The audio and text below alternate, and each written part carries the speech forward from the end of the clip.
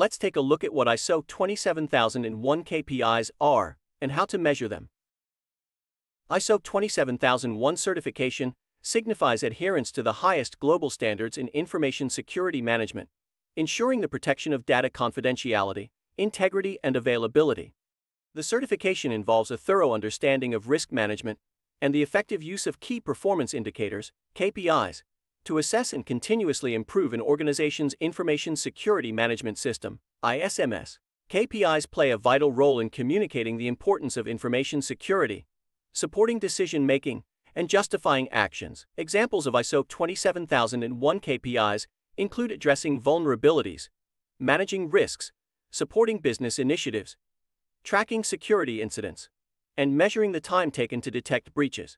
Selecting KPIs should be based on business relevance, process integration, and assertiveness in identifying significant problems or risks. Automation, such as Scytale's platform, simplifies the ISO 27001 certification process, reducing human error and enhancing overall information security.